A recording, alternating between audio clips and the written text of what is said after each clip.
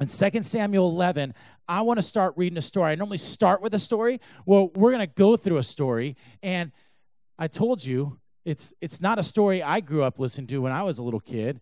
So check out this story. It says right here In the spring, at the time when kings go off to war, already when it starts, you realize, I guess back then, when it's springtime, when, when March 21st hits, it's like get your battle gear on, and it's like scheduled war, okay?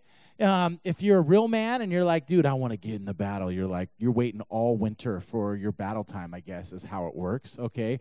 Um, but it was the time of war, and it says this David sent out Joab. Joab was the leader of his army, and he sent out Joab, Joab and all his men and the whole Israel army, and they destroyed the Ammonites and besieged Rabbah.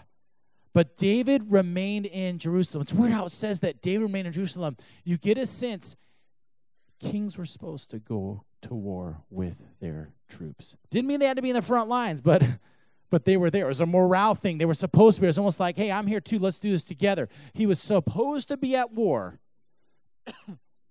but he didn't go to war. And you come to this story that we are going to talk about today and check it out. It says this So one evening, David, King David, got up from his bed and walked around on the roof of the palace. So he's walking around the roof palace. I don't know. Did he have a bad dream? I don't know. Could he not sleep? Did he have too much caffeine that night? And so all of a sudden his his memories and like he just can't sleep, just going back and forth. Who knows? But it says he's walking on the roof. And as he's walking on the roof, you see his palace is higher. It's up on the hill. It's above everywhere in Jerusalem. Everything's below his roof, okay? He's like the high skyscraper of Jerusalem. And as he's walking around one evening, it says this from the roof, he saw a woman bathing. Okay, now, when he says he saw a woman bathing, one is back then, a lot of times women, they would bathe outside and maybe in their backyard or whatever there was. And normally, when you bathe, that means you are naked. Okay? So there is this woman bathing naked, and he's up on the roof. And I don't know if he's like, oh, a woman ba- bathing. Okay, whoopty. Or maybe, because here's what it says it says that not only notice her, it all of a sudden says the woman was very beautiful. So he sees this woman is like, whoa, that girl's hot. Okay? So he sees this naked woman bathing, and it says David sent someone to find out about her.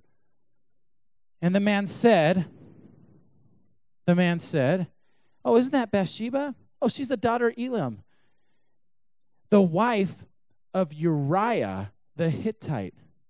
We find out later, later, Uriah the Hittite is one of his main military men. Like legit. Who's where is he right now? Where is Uriah the Hittite right now? Yeah, where's David supposed to be? War, right? He's there. So it says this then David sent messengers to her, and she came to him, and it says he slept with her. Had sex with her right there. Bam. Told you it's rated R. I didn't learn this when I was in junior high. Okay? Brings this girl to him. She's beautiful. It's like, dude, I want that girl. All right? And he has sex with her. Sends her away. It says she had purified herself from her uncleanliness. Then she went back home and the woman conceived and sent word to David saying, Yo, David, guess what? Remember that one night? That one night stand we had? I'm pregnant. Whoa. no one told me this story when I was a kid. It's like I thought David killed Goliath. He was this great king. He became the Messiah. The, the Messiah came from his line. I'm like, dude, yo, King David, that's who I want to be like that. I've never heard this story back then. All right? So She's like, yo, I'm pregnant. Now, he's like, what do I do? Ha ha ha ha. Smart though, okay? What happens normally when you sin and make a mistake? What do you normally try to do first? Lie to what? Cover it up, right? You want no one to know, right?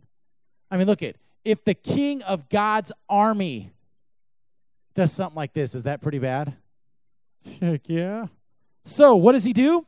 Sends word to Joab, remember the king of his troops. And he says, Send me Uriah the Hittite. And Joab sent with David. And it says, when Uriah came to him, he said, Uriah, I'm so sorry. It's my fault. I apologize. I messed up.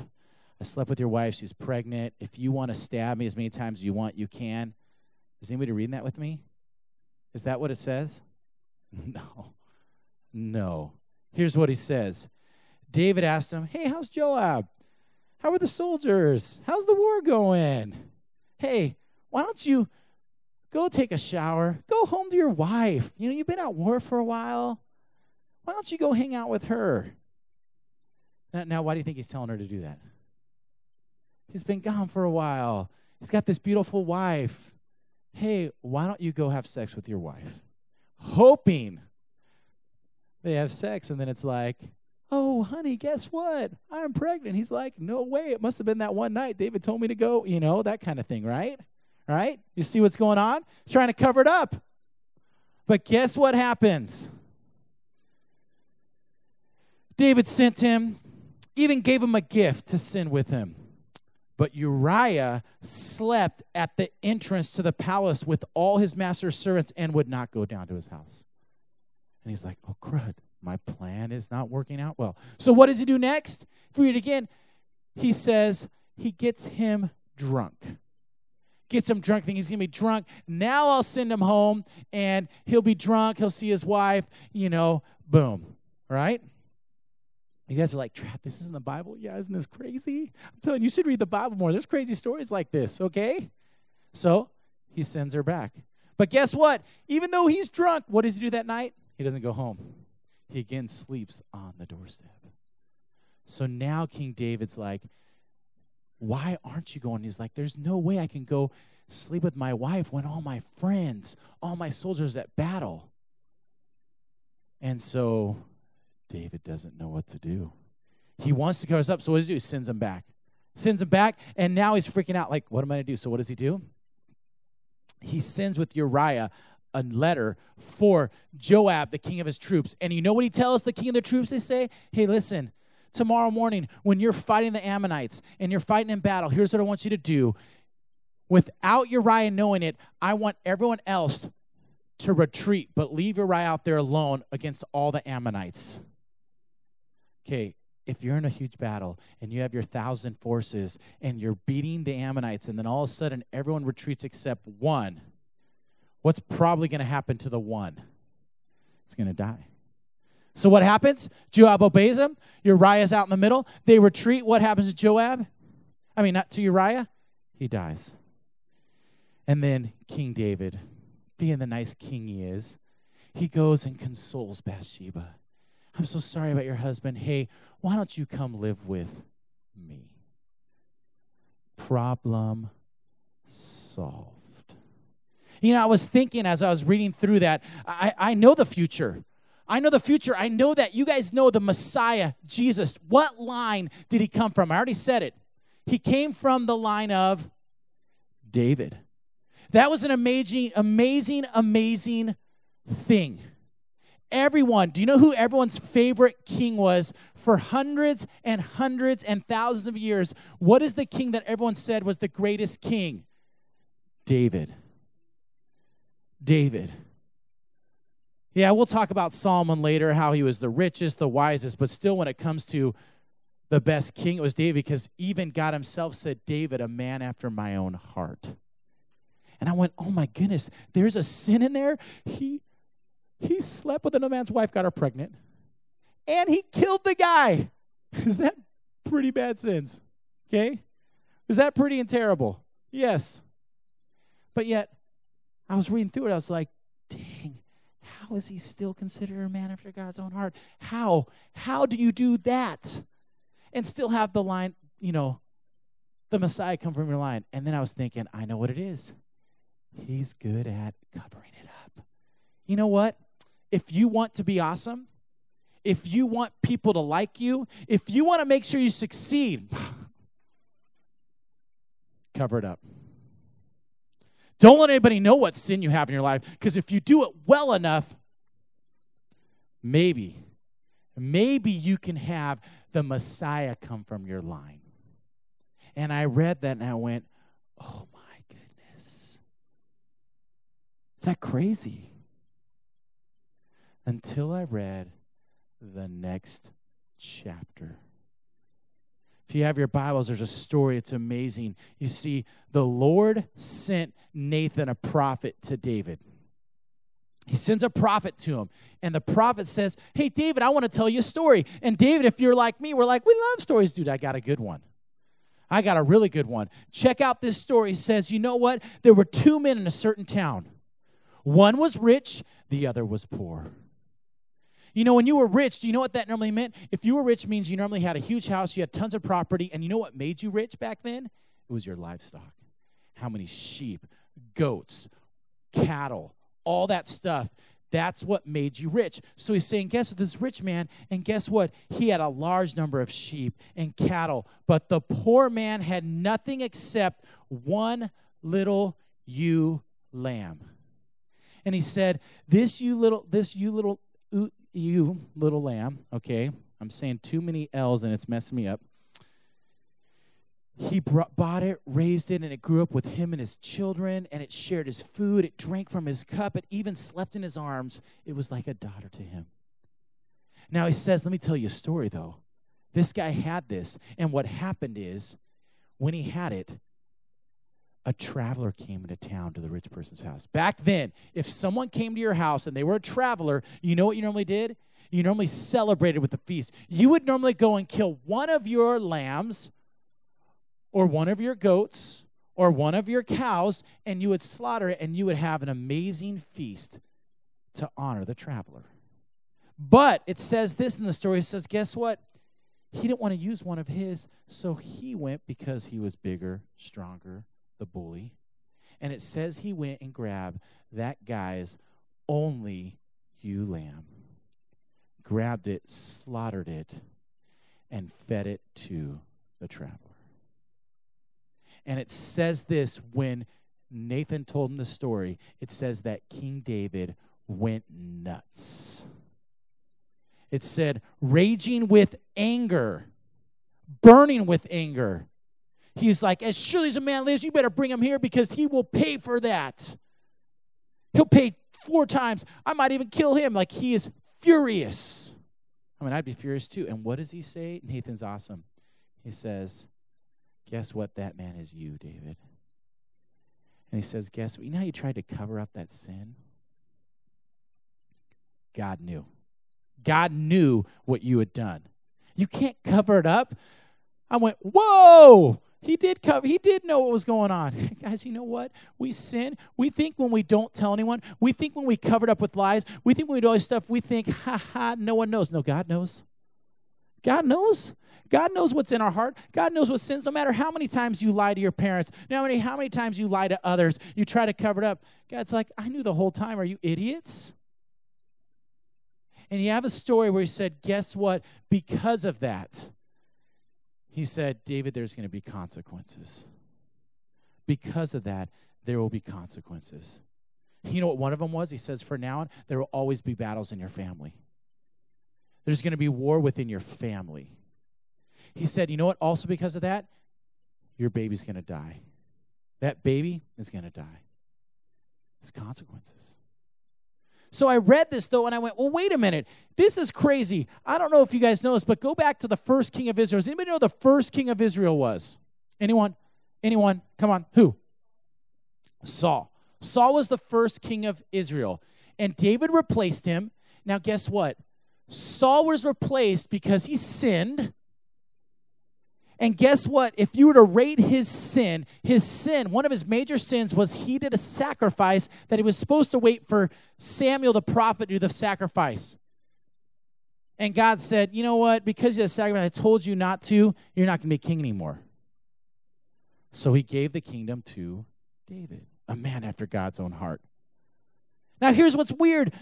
I've been reading this whole thing. Did you know he never takes the, the throne away from David? Never. Okay. Did a sacrifice without getting permission, had sex with another man's wife, she got pregnant, and then killed the guy. What's worse? What is worse?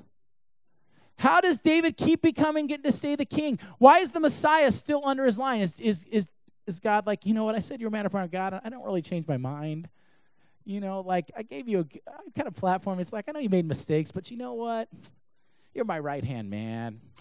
You're okay. Why? Why do you think?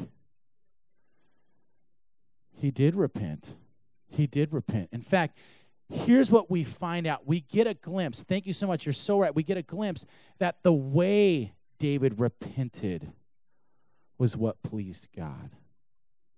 What if there was a special way that it's how we respond to when we sin is what God cares more about? What if it's more about the response, not the, the sin? What if the response is what's true in our heart? What if the response is like, yeah, David made mistakes, but you don't know his heart? I do. And you know what's cool is we start to get a glimpse of David's heart. And we start to realize that David truly repented. And we start to see a man that, even though he did terrible things that we might never, ever do, you start to see the way he repented. And that's why God has no bad vibes with him anymore. And now we can look and go, you know what? Maybe there's some things we can learn from David. And so, what I want to take a real quick, just look real quick at his story and show you three things that he did to show us what real, true repentance looks like. Because it's not like he said, God, my bad, so sorry, so, so sorry. No. I want to take a deeper look. Hey, guys in the back, I don't want to have to move you. Okay, you don't. You can hug later. Okay, but right now, um, we're listening to the sermon. Okay, so here's the thing: is first thing, what true repentance looks like is this David, when he said he was sorry, the first thing that we get from him is that he didn't make excuses. When you ask for forgiveness, the first secret of true repentance is don't make excuses. Don't make excuses. You know, it's funny when we make mistakes, let's be honest, we always try to make excuses for why we did it. Well, mom, it wasn't all my fault. No, no, it would have been, I wouldn't have made the mistake if that wouldn't have happened. Imagine if David would have said, Whoa, whoa, whoa, yo, God, you know what? You're smoking something, okay? It is not my fault at all. I was walking on the rooftop. It's not my fault that there's this beautiful woman who's naked below me taking a shower. Why wouldn't she have showered inside? Why didn't she wear a conservative bathing suit? That would have been a lot better. I would not have thought she was that attractive. I would have been totally fine, and this would have never happened. Her fault. What, what if he'd said that would have been perfect? Because guess what? You know what Saul did when he was caught in a trap of him doing the wrong thing, King Saul? He had excuses. Well, you know what? If Samuel would have been earlier, hey, we were going to die, but we really needed you. God, it's all your people's fault. And God's like, you don't get it. But you know what's interesting about David? Check this out. In chapter 12, verse 13, when Nathan said, It's you we're talking about, David did not go, Yo, it's not totally my fault. Here is the only thing he said is, I have sinned against the Lord. It's all my fault. God, you are right. I can't believe it did it. I'm the idiot. I own it. Let me tell you what true repentance is is when you make a mistake, you say it's my fault. God, it's my fault. I don't know why I did it. I love it. 1 John 1 9. If we confess our sins, you see a secret here. If you confess our sins, he is faithful and just to forgive sins. It says he will forgive you, but you got to confess it. David said, It's my fault. God, it's all my fault. Some of you are like, That's it? It's that easy? Yes. But why don't we do it? Because no one wants to be blamed for something. No one wants to be known as a sinner. No one wants to be known as, yep, I'm the one that killed Uriah. It's all my fault. Yep, I'm the one that cheated on him with Bathsheba. It's my fault. No one wants to be known for that. And David's like, yep, I did it. What if the first secret to true repentance is you just go, God, it's my fault? Yep, I can make excuses because that's not totally me, but it is me.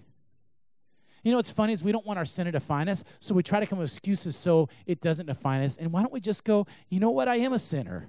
You know, I do struggle with those things. When I do look at naked, beautiful women, it makes me want to do things. I do have, it's my fault. Why can't we? Why can't we just confess it?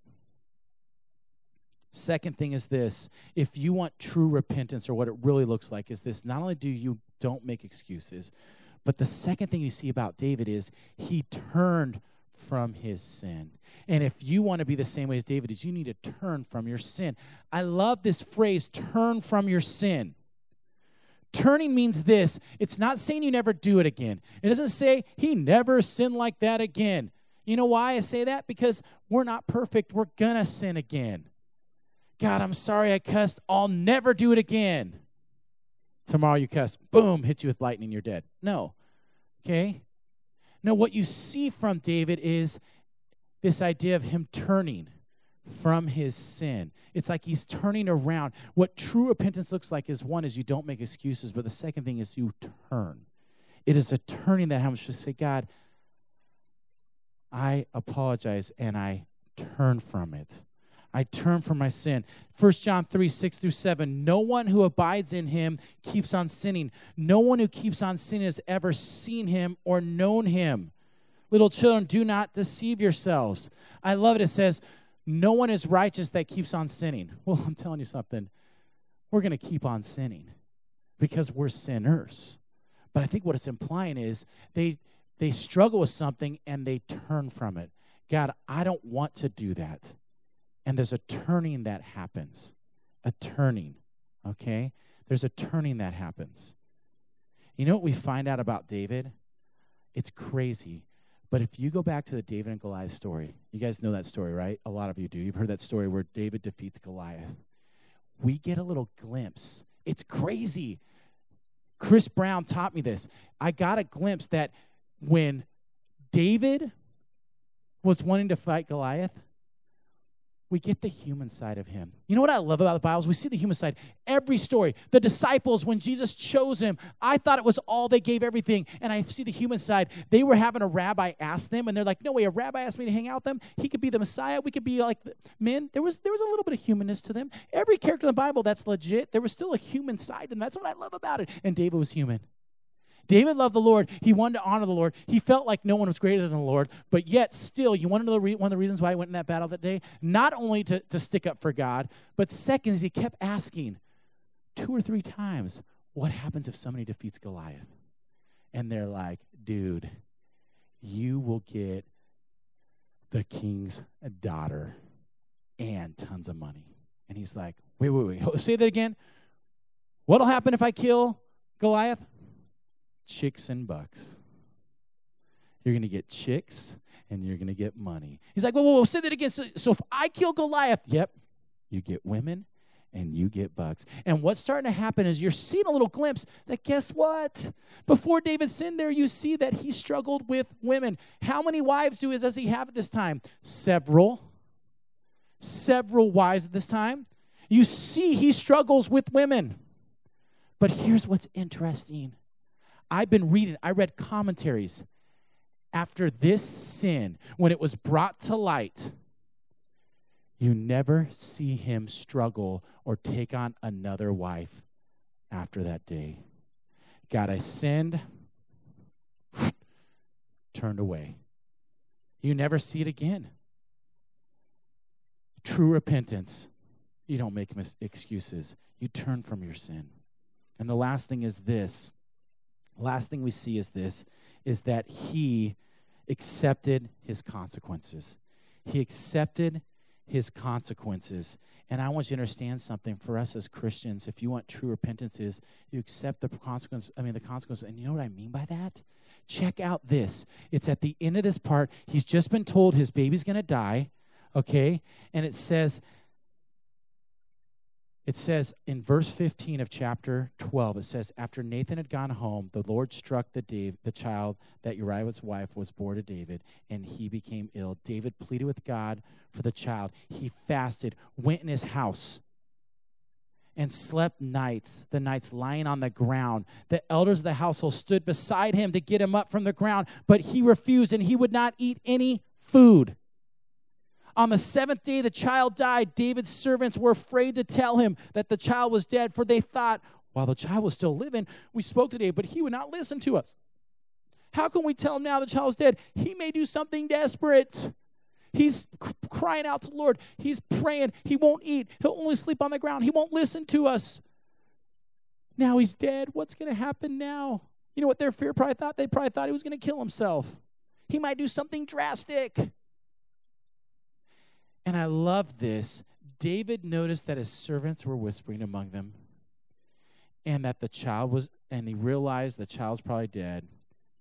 And so he asked, Is my son dead?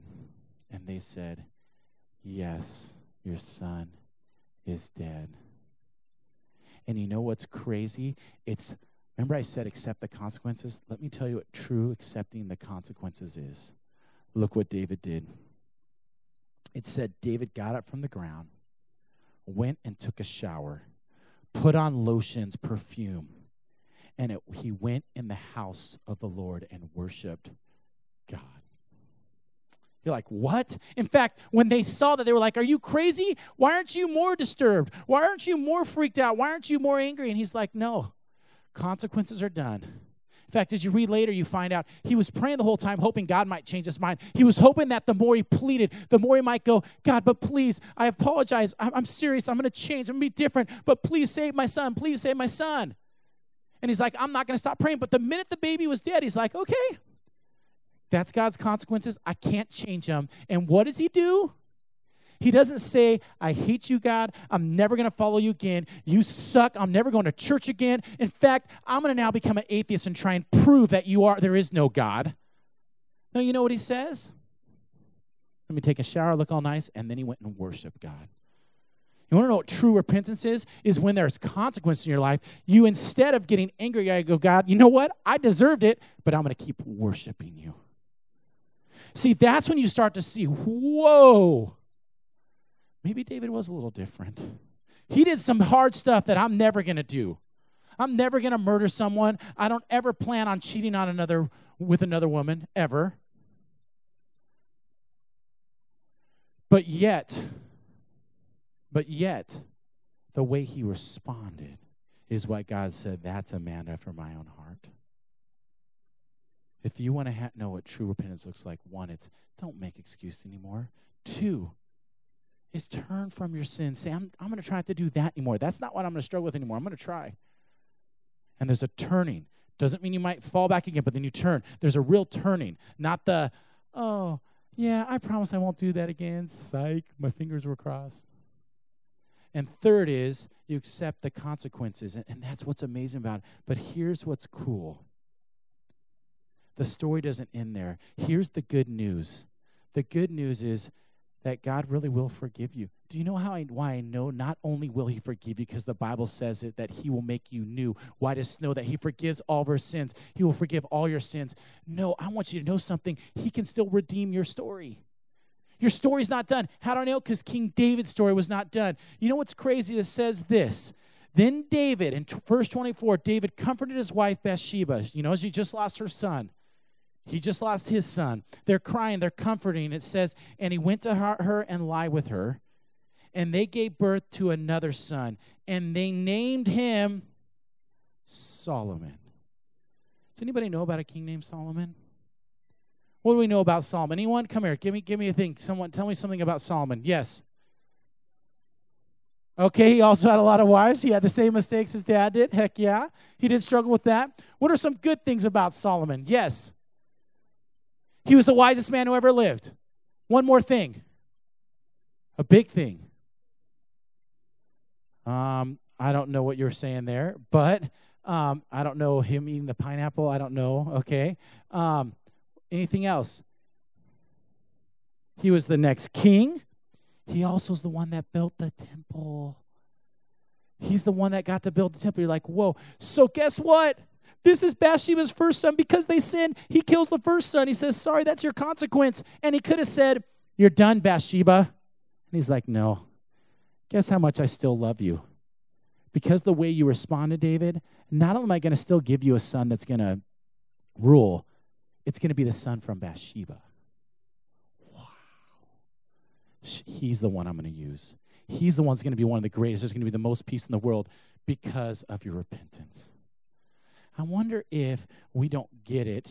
We don't get, I think we think we're not supposed to sin. I think we think this game in life is don't sin. And I think we don't get it. The game in life is we're going to sin, but it's how we respond when we sin. And maybe God's saying, Listen, you're so worried about I'm not good enough. And He's saying, I know you're not good enough, but it's how you respond. That's why I had to pay for you. That's why my son came and died on the cross, because I know you're not good enough. He had to pay the price, but listen, it's how you respond. It's you saying, I own up to it. It's my mistake. I'm trying to, I'm not going to do it again, God. I'm going to be different. I'm going to turn from the sin. And you know what? If there's consequence, I'm okay because it's not going to stop me from worshiping you. It's not. David, a man after God's own heart. Let's pray. Dear God, just thank you so much for who you are. Lord, I know I went a little long. But Lord, would you just teach us about how we respond? It's how we respond when we sin. Lord, we'll probably never do anything as bad as David. But Lord, may we have his heart that we respond the way David did. Love you so much in your name. Amen.